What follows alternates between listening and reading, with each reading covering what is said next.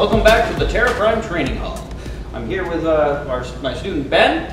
We are going to be talking today about the Sarlacc Sweep.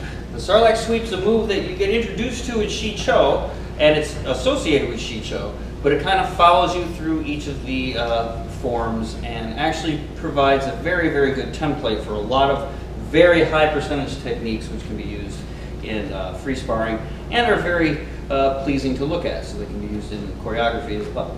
So, uh, why don't we get right down to it? now, the first thing that we have to talk about um, when we talk about the Sarlacc sweep is guard. And we'll talk about the Shii-Cho guards first, right? So, we've got three guards, right? We have our middle guard here. Now, when he's in middle guard, the blade is about like this. If I'm standing over here, he's, the blade is pointing towards me. And obviously, always the blade is trying to be in between the opponent and the person wielding the saber. So if I'm here, like this. Now the next one is high guard. Now this guard, the blade's actually behind you. And the reason that is, is because it entreats somebody to come in, in which case you can then come down, do all kinds of things from that. You can come to the side as, as in the Dulon or, or what have you. So, so that's high guard. Now the other one is low guard, okay? And this is going to be done, lots of rising stuff comes from here or whatever. And one thing you can do is as the opponent is in guard, right, middle guard, you can pretty much take whatever you want. If somebody assumes high guard, the best thing to do usually is to assume low guard.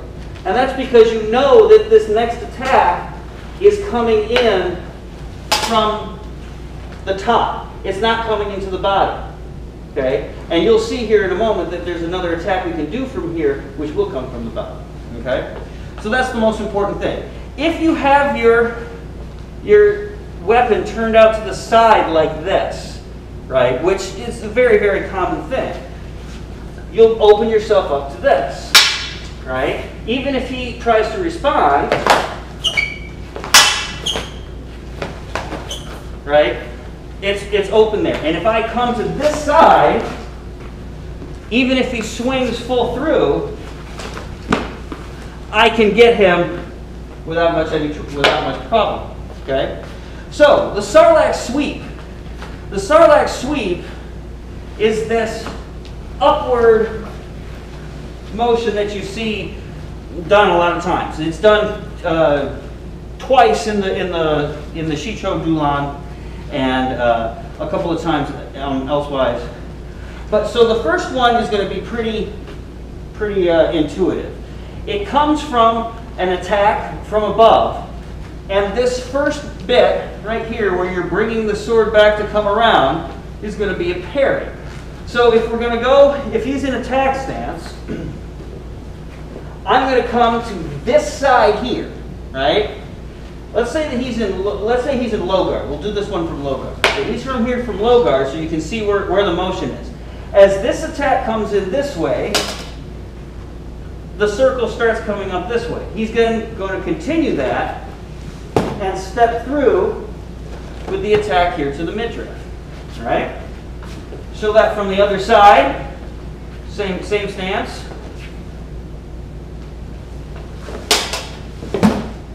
There. Okay? Pretty simple. Okay? Um, so full speed, it will look something like this. Okay? Now usually, again, with the Shii-Cho stuff, it's all going to be battlefield. They're going to be running at each other. So if we're here, That's what's going to happen. You're trying to get it off, get this cut done before they have a chance to respond. Okay? So that's the first one that we do. Now, the one thing to remember is if I'm coming in this way, the only other way I can come in is the other way. So if we go back, we got to go low. If you don't go low, don't go low on this one. Boom, you get it right in the face, okay? Now if he does that to me, he's going to come in this way. I'll do the Sarlacc Sweep. He comes into the other side, I duck down, and I come through. Hence the low stances seen sometimes in the Dulon um, with the uh, Sarlacc sweep. Okay. Now the next one is an intercept, right? This one's kind of an intercept, but it's an intercept to the body, right? This one is more of an intercept to the weapon. So what's going to happen is, as I initiate my attack, before I'm able to complete it, he's going to hit my hands, my arms, or my weapon. Okay? Sun Djem, as it is um, said in the marks of contact. So we go slow here, just like that. Okay? He's going to come underneath, and it's that it's what was used that motion that was the parry is now the actual attack.